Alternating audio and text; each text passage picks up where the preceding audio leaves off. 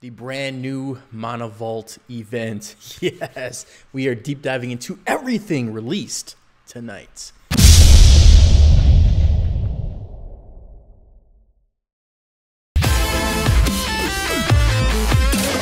So, without further ado, sit back, relax, thumbs up, subscribe, and enjoy. it. Here we go. So, first things first, with a brand new update this week, aka Thursday, August 1st or Friday, August 2nd, depending where you're at in the world we have his Time Treasure. Let's go. Now, I didn't make a video about this last month. However, I do want to point out something starting from the far right. 100% y'all already know when it comes to a free-to-play perspective. Yes, yes, yes, yes, yes. On these bad boys right here. This 4K right here.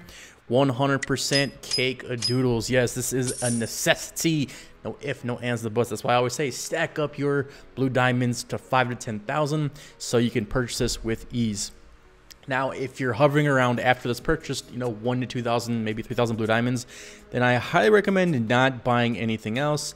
Now, if you're sitting above three, 4,000 after this, then I definitely recommend going out and squeezing out these two. I think this is the worst one out of all of them. While it's not bad because you're getting 32 hours, aka 1.3 uh, geolite.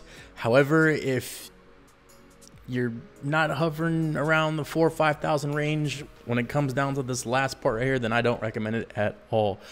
As for the pay to play perspective, yes.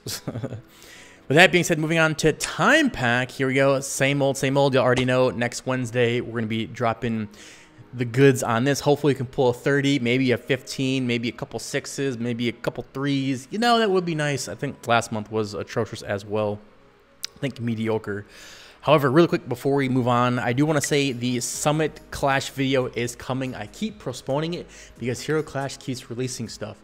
You know, we had Divine Trial that took place of it, and now we have the the new Mana event. that I have to cover over the Summit Clash video, but that is coming in early to mid August. As long as Hero Clash doesn't drop more new stuff on us, but we will see in the future. Here we go. Now, when it comes to Time Quest, very, very simple. To get this 10 free purple common scrolls, just do your daily. You got the Arena, Cake of Doodles. You have Awaken a Hero to Epic, Cake. Legendary is Cake. Five Ancient Summon Challenges, Cake. 20 Stand in the Garden, Cake of Doodles. And then perform 10 Arena Challenges. Very, very easy to do. You should be able to complete that in probably two days, honestly. Let me get that real quick. There we go. Moving on to the Time Weekly card. Now, in personal opinion, I do think this card is worth it. It's probably the only good thing besides the little 99 cent chest that is worth it in the Time Treasure event. And we'll see if I end up getting it. I'm not really sure what I'm going to do come next Wednesday. However, if I do decide to spend money in the game, then I definitely will be taking advantage of this one. Okay, moving on to the login gift. Y'all already know beating a dead horse. Always wait to the very last day to unlock this. Especially if you're going for these bad boys and you wait to the last day like myself. I highly recommend just waiting to the very last day. Okay. Time Treasure events. As you can see, we have stage one. You're going to want to choose this 20 good old exclusive stones, cake doodles. And then stage two, you're going to want to go with the, uh, you can, honestly, it depends when it comes to stage two. You're going to get the opportunity to choose this again, or you can choose the S Plus card. I personally think this S Plus card is absolutely atrocious. Now, unless you're, you know, a brand new player or you're hovering on that, you know, six to nine to 12 month mark where you're slowly, you know, working on Natalie or Geo or something, then I could see you using this. However, from a free to play perspective, it kind of doesn't matter just because it just, it's impossible. It's, I, with my free to play account, I never pull the S Plus card, and I've been pl- playing since it came out. So, yeah. However, from a pay to play perspective, I recommend just going for this S card. You know, you're gonna save a whole bunch of your gems, and then when it comes to round three, you go for the hundred bomb or you go for the four star gem. Personally speaking, I'm torn between the four star gem and the hundred bomb exclusive stone because it seems like Hero Clash is releasing exclusive stones for free and extremely cheap throughout the months, which is good for us. So shout out to Hero Clash, greatly appreciated. So that means the value, you know, mathematically speaking, from a financial perspective, would go down. right? However, a four star gem is still kind of hard to unlock, you know, without extending the duration of time to collect from Summit Clash, etc. So I think the four star gem is worth it. Now, if you're hurting on the stones and just go with the stones, you know. So, yeah, that is the time treasure event. Now, moving on to good old divine trial already complete. If you haven't seen the if you're stuck video, are you stuck on the divine trial? Watch this video now. Yes, watch it. 100% great solution from myself and some of the community. So I highly recommend watching it if you are stuck. If you're not, good job. Cake of doodles, right? Too easy. Let's go. Now moving on to the final event, Mana Vault, baby. And I'm going to be honest. I'm going to rip the band-aid off and I'm going to be honest. 100% my three cents. We have before we judge the mana vaults, one, let's go over it and then let's talk about the arcana system really quick. So first things first, when it comes to mana quest, obviously you're going to want to do your daily routine. And when it comes to your daily routine, I did some quick math on it and Oh, there's still one more for Ancient Land? Are you serious? How? I did 25, but I guess one didn't count because of unstable connection? I don't know. Oh, well. However, what does it actually get you? That is the question. I personally wish they would have released the Relic event, but it's cool. Now, event pack. Now you get that. If you're free to play player, you will not get those three. Okay. Now, for 100 bucks, you're going to get one of these bad boys and 50 of these. But what is a mana token? Well, we'll cover that in a few seconds. However, you have this bad boy as well. You get five of those for five buckaroos. Hopefully, you can pull 70 or 20 or a whole bunch of fives or something. But we'll see. Actually, we'll We'll do it in this video. How about that? Yes, we'll do this in this video. So make sure you watch the whole video. This is gonna take a while. You need a better weapon. You need a better diamond. You need a better, a better, you need a better diamond. Uh, there we go, finally. Okay. So, what I do like really quick is how Hero Clash switched up these bottom rewards for 25 bucks you get the 8. Or you can just double that and get 3 of these. I like how they're switching it up. They're trying something new. Awesome sauce. Like I said, when it comes to growing in life, the, the secret is feedback. Paying attention to the feedback, right? Now, moving on to the Mana Weekly card, 25 bucks, you get 15 of these bad boys, and then you get one of these. And just 15 plus 3 times 7 is pretty sure that's 36. PEMDAS, baby. So the question still comes down, what are these? So we'll get to that in a second. Now, let's get to it in a second. okay, so Moving on to Crystal Energy Quench. As you can see, for every 10 you use, you're going to get... Before we move on, before I deep dive into this and drop 25 bucks on it and open up the chest, I just want to say one thing. When it comes to the Arcana system, I probably, I, I honestly think that the Arcana system is probably one of the worst systems in Hero Clash. You know, we just got off this amazing journey of Divine Trial being the best game mode in Hero Clash since the game has been created. And then we just deep dive into the worst system ever created, which is the Arcana system. Now, the question is, why do I think it's the worst system? I think it's the worst because Hero Clash just took a whole bunch of stuff, aka data, and put it all together, gave it some symbols, and made some hard to get, some easy to get, and it's just way too much. And I like to compare the Arcana system to the Light Hall. The reason why the Light Hall is so beautiful is because it's extremely easy to as you can see when you click this bad boy, oh, well, let's go to something we don't have unlocked. As you can see when you click this bad boy, it says Priest Attack, plus 35. It's very simple. You got the photos there of the heroes that it affects, you know, so on and so forth. And then you have the Glorious Power, which is, you know, another part of that where, again, you can click it and see warrior damage to Priest, 19.5%. And then you have your stuff at the bottom to get the increase. And again, you see the heroes it affects.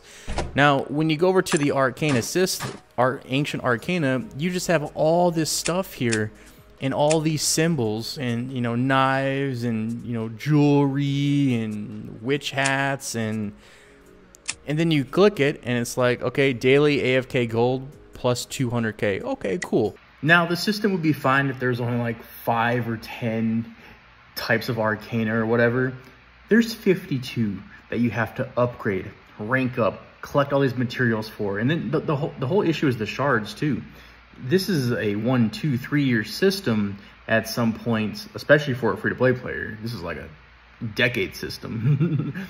and I think it's just too complex. And my main issue with the arcane system is you really can't relate it to your heroes. And there's something special about the light hall where you can see your heroes. It's like, oh, boom, boom, boom, too easy, right? With Arcana, it's just, it's very disconnected. Yes. However, I, I just think it's just all over the place. I, I really do not like the Arcana system. I think the biggest issue is I don't think anyone can actually relate to it. And I think part of the issue is there's just way too much stuff to do in Hero Clash, and then when you add the Arcana system, it's an overload to where it's just like, okay, Arcana, cool, let's just collect this, call it a day. You know, I think that's where the issue derives from. You know, when I see the Arcana system, I just see something just thrown together to, you know, increase every attribute or stat in the game that's broken down into pieces, but you really can't relate to and be like, yes, I need to work on this. Now, maybe you feel different. To top it off, when it comes to the Arcana system, you have, where is it at? You have Hunting Battle, which I think is one of the worst PvE modes ever because one, it doesn't change, and then two, Hunting Battle or Ancient Land is pretty much hunting battle on steroids. Let me know in the comments what you guys think about the Arcana system. Am I the only one who feels this way where I feel like the Arcana system, the Arcana Codex is just thrown together to upgrade little by little stats and there there really is no bond. You really can't bond with the Arcana system, unlike when it comes to the Relic system or the gem system. You know, you can choose your hero the moonlight and then see the gems. Path forward. and see the gems like, okay, cool, this is working on her. Cool beans. So here we go. We're just going to deep dive into this. I'm going to burn 25 bones on this real quick. So Okay, there we go. So, good old Apple baby, let's go. So I get this, which is pretty cool. Now, the only issue with this is if I pull a Heroic Arcana at 75% and not the Divine, it's going to be kind of upsetting, but, you know, that's the risk you take when it comes to this system. So let's see how many we can get, right? Let's, let's test this out. Here we go. Oh, let's go to the, uh, yeah, let's do this real quick. Here we go. Um, where's it at? I have so much stuff here. If this doesn't give me a 70 or a 20, yeah, it's...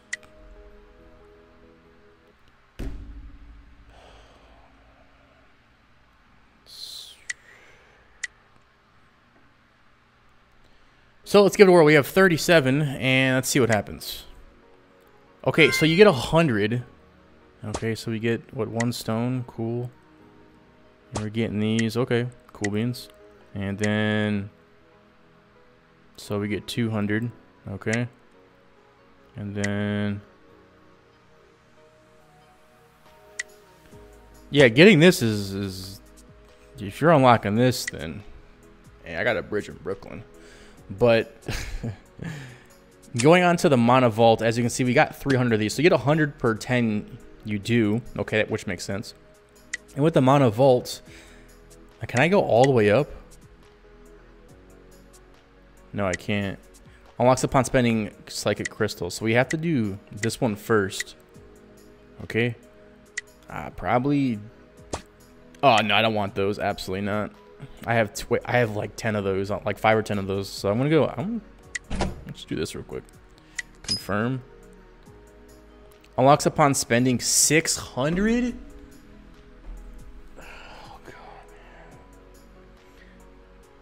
You have to spend 600 to get to 5F.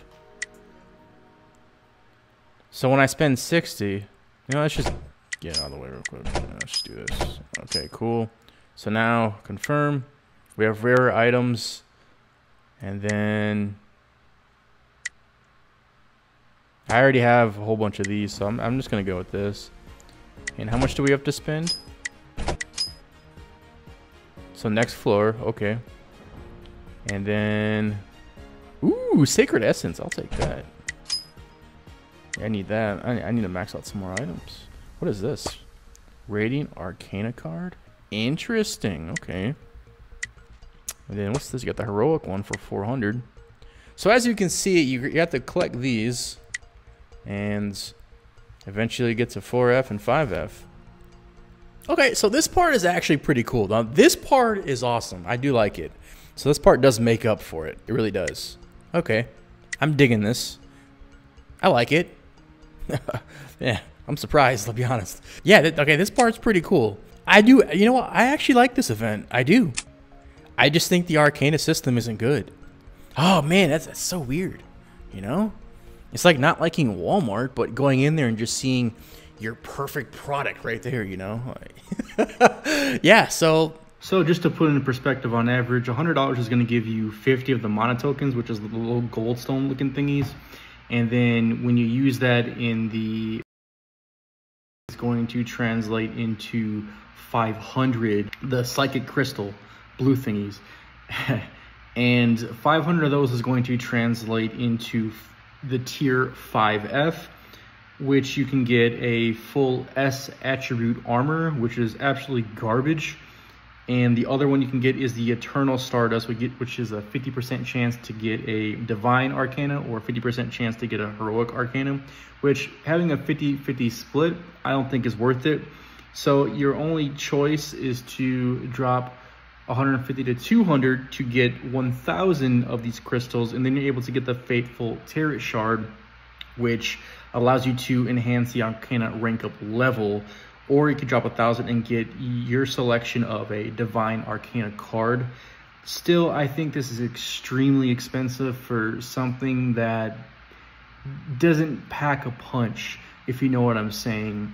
You know, I personally, if I was going to spend $200 in Hero Clash, I'm going to wait for the quarterly event where I can drop 200 on the, you know, two relic cards and you can move up the, the line and get a relic card here, an S plus card there, and then when you get to what 700 or 1,000, whatever little bottles or whatever, whatever, whatever it is, and then you end up getting one of those pink cards that has the eight three-star gems in them or something. I, I think that's where I would put 200 bucks in. Well, that's just my three cents, and yeah. I do think the event is awesome. It's just unfortunate that the event is awesome just when it comes to a below mediocre system. Yeah, I like it. And yeah, so hopefully I'll enjoy the video, you know, make, you know, have some financial responsibility when it comes to the app. Real life comes first, and I will see y'all in the next video greatness manifested.